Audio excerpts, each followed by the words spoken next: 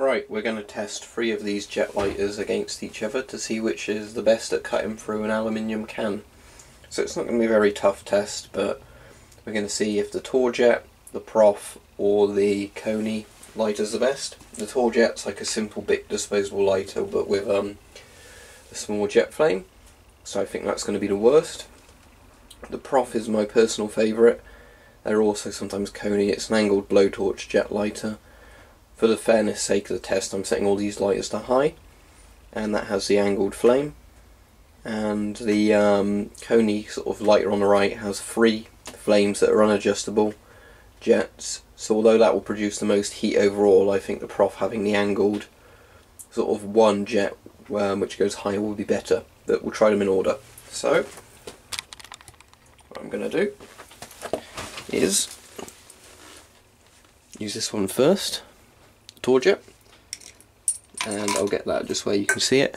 And so for fairness reasons what I'm going to do is go all along with each one at a different height. So it's the same thickness everywhere but obviously you all know which one did which. So start off with the TorJet and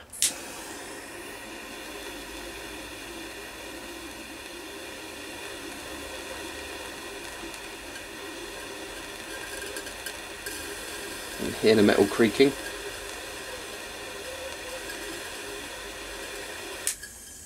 Right, I'm going to stop there. That hasn't managed to get through, but you can probably see it's singed quite badly. I'll just zoom in on that.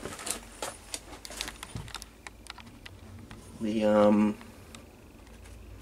side.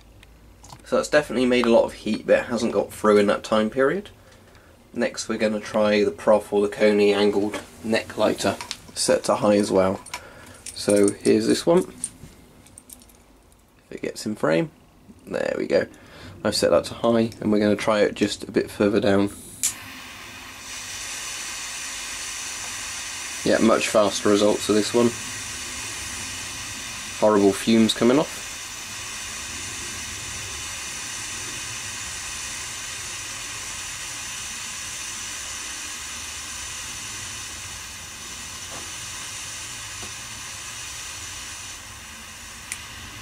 And I'll stop that there. So that's done more than the top one has in a similar sort of time period. But again, that's not cut completely through. So that's kind of surprising. There's actually smoke coming out of the top of the can now. Uh, whatever's inside was evaporating, which is quite funny. But um, yeah, neither of these two have made it through. So last we're going to do the Coney sort of triple flame cigar lighter. I'm just going to do that at the bottom there. So let's see.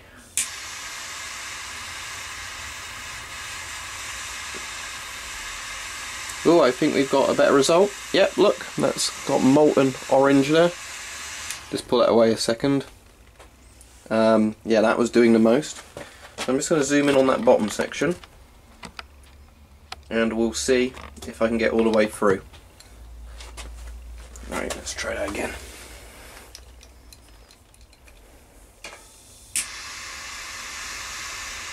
Yeah, that's cracking. We're through. So this is by far the best of them actually. This does run through fuel, through fuel quickly, but it's very efficient um, at doing it. So the winner is for cutting um, through metal, um, the Coney Triple Flame Cigar Lighter. But what I'm going to do now, that really does smell horrible, is um, go back to this one and see if I leave it on there a bit longer, if we can have any results of this.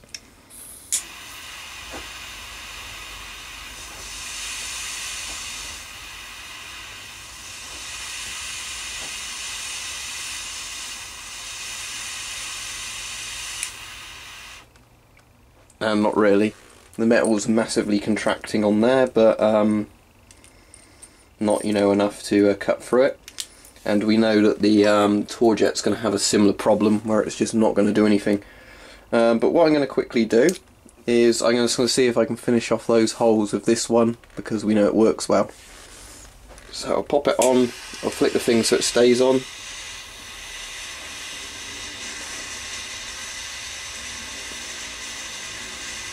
Then we've got that orange glow.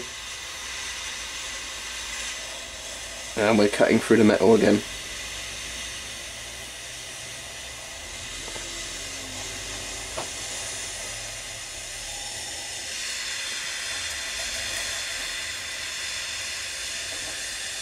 Look at that.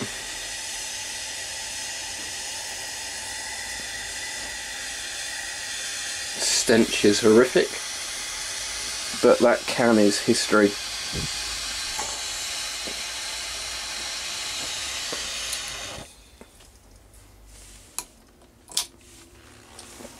So yeah, this Coney triple flame jet lighter makes mincemeat out of those cans. I'd highly recommend one, although the fuel's gone down a bit more. Uh, I'd highly recommend one for if you want some serious heating work from a little pocket-sized lighter.